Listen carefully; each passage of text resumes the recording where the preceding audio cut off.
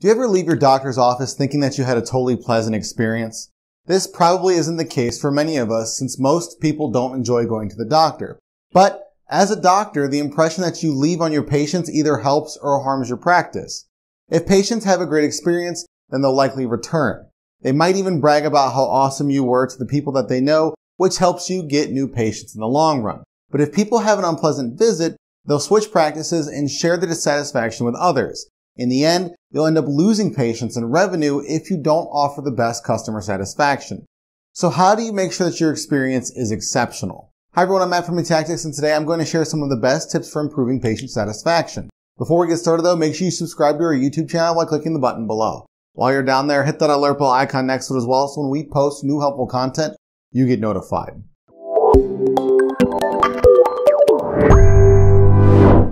The first tip is to improve communication. Doctors should use the 50-70 rule for eye contact when with patients. This means maintaining eye contact for 50% of the time when speaking and 70% of the time when listening. This helps the patient know that you're actually paying attention to the conversation. Don't interrupt them either. On average, patients only have 11 seconds to explain the reason for their visit before the doctor interrupts. This makes them feel like you aren't taking their concerns seriously.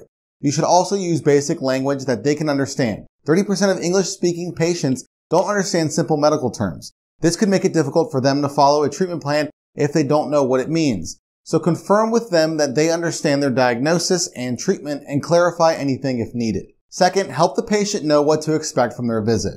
Only 3% of people actually fear going to the doctor, while majority just fear the unknown. In 2018, 34% of Americans had confidence in medical leaders compared to 75% in 1966. To help your patients trust your expertise, show your professional knowledge to prove credibility. Now this should go without saying, but you should also always put the patient first.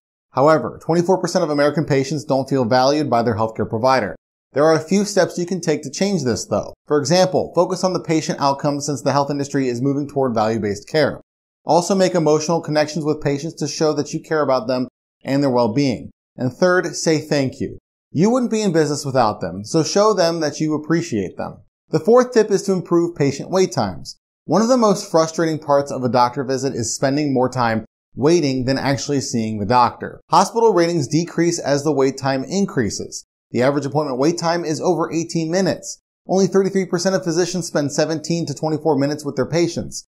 This means people often spend more time waiting than with their doctor. Sometimes you can't control these long wait times, but you can at least let clients know how long they can expect to wait. 88% of patients said that knowing in advance how long they'll be waiting helps reduce the frustration. Finally, a simple way to improve satisfaction is to ask for feedback. Well, the tips that I just gave you throughout this video can help. No one knows how to improve your practice better than your own clients. Using satisfaction surveys will show your patients that you actually care about them and their concerns. It gives insights on other ways you can improve their experience and quality of care. Now, the reality is that some clients might have complaints regardless of what you do to make their experience better. No matter how hard you try, you just can't please everyone but you can cater to the majority of your patients by implementing these steps. And overall, this will improve retention and boost revenue.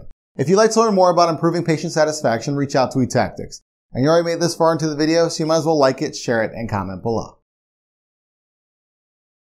What are you waiting for? Subscribe to our YouTube channel.